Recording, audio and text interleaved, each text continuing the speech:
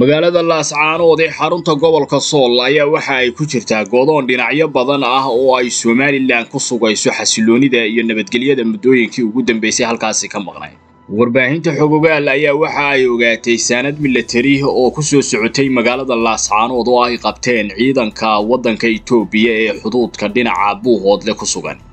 maxaynu ka ogaan karnaa sababta muddooyinkii ugu dambeysay xasilooni darradu hoos ugu dhacday ee aanay dhaqdhaqaaq badan u samayn karayn gacmaha shisheeye ee halkan ku jira. Ma ogtahay xasilooni darrada muddooyinkii ugu dambeysay ka jirtay gobolka sool inay isku dhinac ka noqdeen beesha caalamka urur goboleedka igad waddamada geeska afrika ah iyo sidoo kale somalilan warbixinteennan ayaynu ku soo koobaynaa qodobadaasi garaadada laascaanood ku sugan ee muddooyinkii ugu dambeysay halkaasi ka waday xasilooni darrada ah ayaa ciidanka qaranka jamhuuriyadda somalilan dhinacyo badan ka goodoomiyeen waxaana wakhtigan xaadirka ah ka dhammaatay saanadii milatari waana sababta hoos u dhigtay qalalaasaha iyo sida oo kale nabadgelya darrada ay halkani ka alooseen.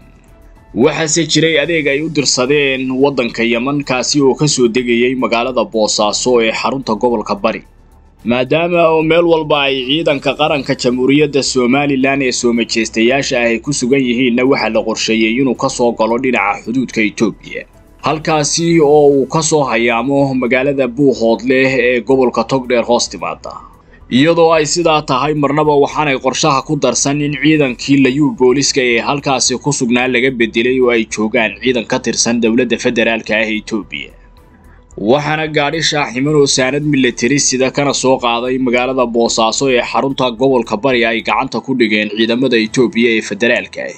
gelinkii hore ee maanta kaasi oo ay sheegeen inay jamhuuriyadda somalilan ciidankeeda qaranka ku soo wareejin doonaan maadaama uu gaadhigani u socday magaalada laascaanood ee xarunta gobolka sool garaadada magaalada laascaanood muddooyinkii ugu dambeysay ku sugnaa oo ay ka dhammaatay saanadii milatariya ay kaga qayb qaadanayeen nabadgelya darrada ah ayaa wakhtigan xaadirka ah waxa ay madhadhaaminayaan. Sidii wadahadal iyo waanwaan ay somalilan ula geli lahaayeen taasi oo ay dhexdhexaadinayaan waddamada ah beesha caalamka iyo sida oo kale urur goboleedka igad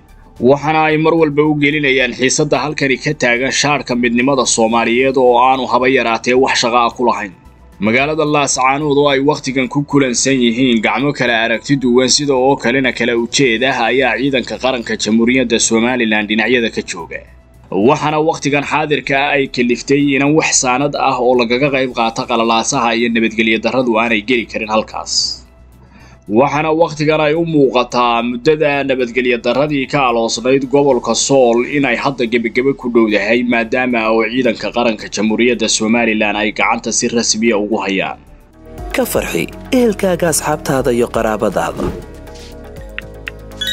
Oo la soo deg abka dahabshiil si aad si fudud lacag ugu dirto. Marka aad la soo degto ablicathonka dahabshiil ee aad lacag ka dirayso isticmaal koorka khadmad la'aanta ee tree free oo kuu sahlaya in saddexda jeer ee ugu horreeya ee aad lacag dirayso aan wax khidmad ah lagaa qaadin dahabshiil howlfudaydiyahaaga maaliyadeed